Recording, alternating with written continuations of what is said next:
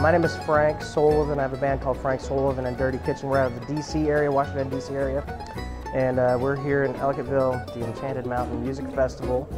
And uh, it's awesome. We played last night.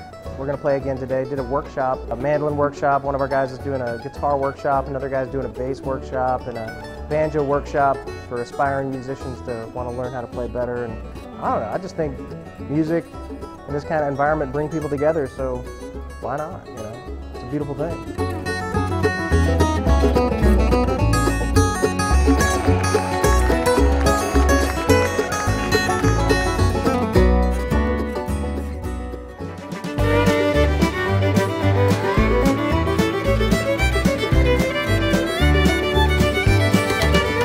Imagine my surprise. They came down the drive with that big spool of electric wire. Didn't understand exactly what they meant, but they said, When we're finished, you can talk with all your friends. right inside our